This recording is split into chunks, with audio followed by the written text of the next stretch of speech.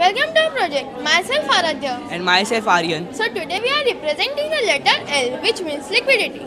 So liquidity refers to an ease with which an asset or security can be converted into direct cash without affecting its market price. Assets like stocks, bonds, real estate varies according to the liquidity levels.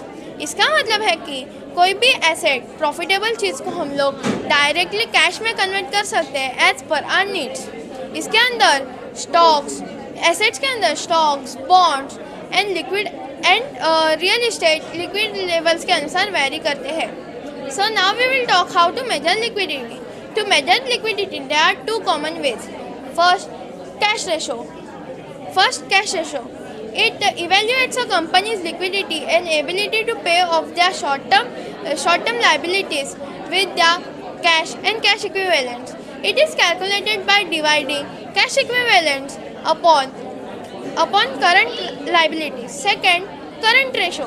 It, it evaluates a company's ability to pay off their it evaluates a company's ability to pay off their current liabilities upon upon current as, assets. It is calculated by dividing current assets upon current liabilities. Now we will talk about its importance. First, it provides financial flexibility. Second, it helps transaction. Se third, it may, liquid assets maintains their value. Now we will talk how to use it in our daily life. First, uh, for budgeting. Second, uh, for uh, uh investing, and third, for emergency savings. Now Aryan will take over and explain you the examples.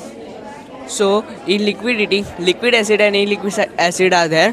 Uh, uh, liquid asset, cash, stock, bonds, bank deposit are there, and in illiquid asset, uh, property, art and collection, certain bonds are there. Thank you.